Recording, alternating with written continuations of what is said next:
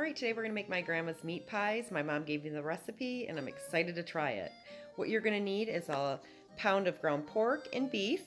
You're gonna need four large potatoes, a large onion.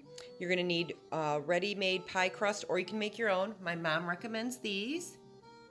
Um, you're gonna need some kind of allspice seasoning, whatever you like to season your meat with. I'm gonna use those and also parsley and salt and pepper. Then you're gonna need a splash of milk for when you boil your potatoes and make your mashed potatoes and a little butter.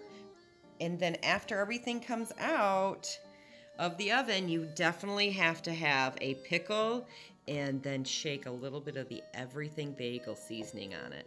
You can't eat a meat pie without a pickle on the side and a little bit of this shaken on it. So good. All right, let's get started.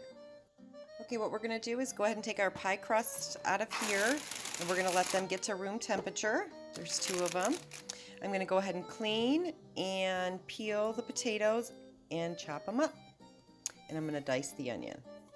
So we're just gonna go ahead and peel our potatoes. All right, so I got all my potatoes peeled and I'm just gonna go ahead and give them like a coarse chop and then we're gonna go ahead and boil them. All right, we're gonna go ahead and start boiling our potatoes. All right, so we're gonna go ahead and slice up our onion, dice it up.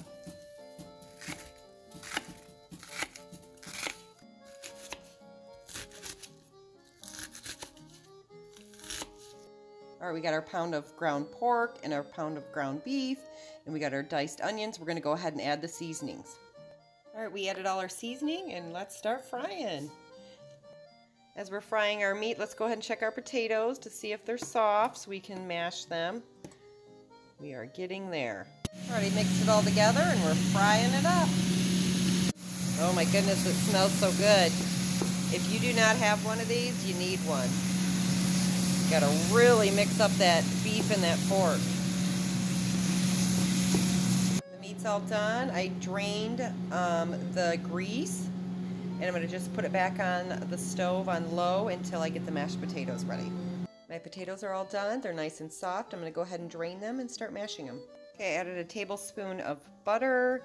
I'm going to add some salt and pepper. And I'm going to add a little milk. All right, I'm going to add a quarter cup of milk. And then we'll mash them. All right, let's get mashing. All right, my potatoes are all mashed. We're going to go ahead and add it to the meat and onion mixture.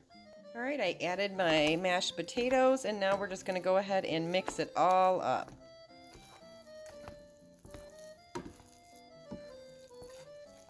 Okay, it's all mixed up. Now we're gonna go ahead and get our pie crust ready.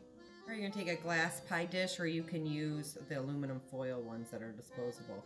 You're gonna take your crust, you're gonna unroll it gently. Remember your crust is at room temperature. And then we're gonna slowly just lay it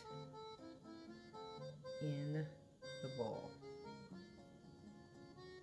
I'm just firmly but gently making sure it's on all the edges. Okay, so now we have our meat and our potatoes and our onions and all our seasoning. We have our pie crust ready, and now we're gonna start scooping it and filling the pie crust. And we wanna push it down.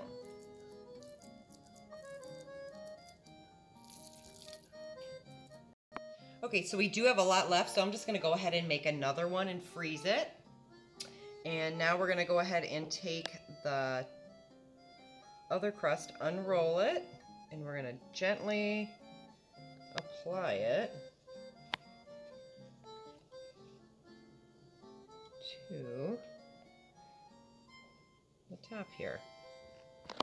I'm just kind of rolling it and making sure I'm squeezing it to the other one and then I'll make a cute uh, pinch on it. So you can see that, you're just kind of rolling it with the other crust. Grab the other crust, kind of roll it in and pinch it. Roll it in and pinch it. And I'm just kind of taking a fork and I'm pinching both of the crusts together all the way around. Right, and then I'm just now folding it back.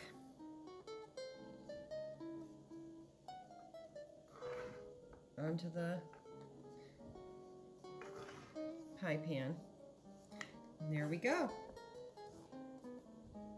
All right, it's all done. I put a little design on mine. You don't have to.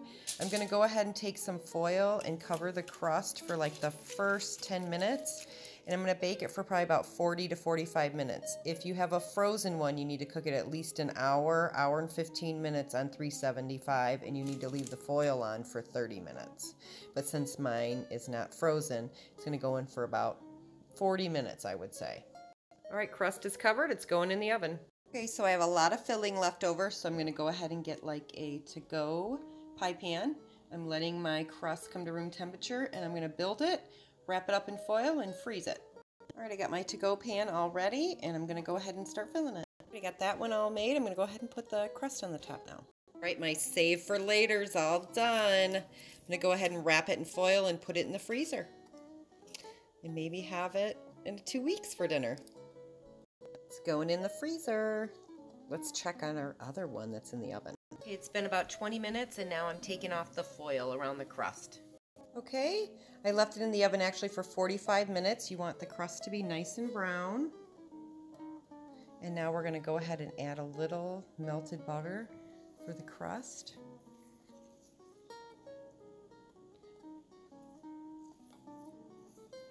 That's what's for dinner tonight.